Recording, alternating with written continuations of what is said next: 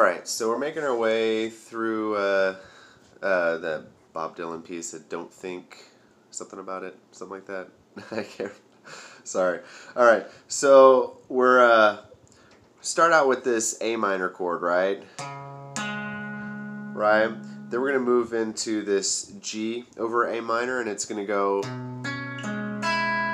right, and then that F for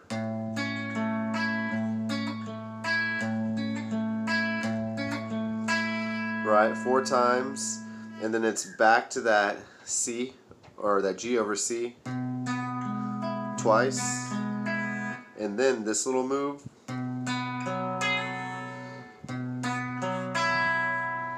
Right? And that's the end of that section so far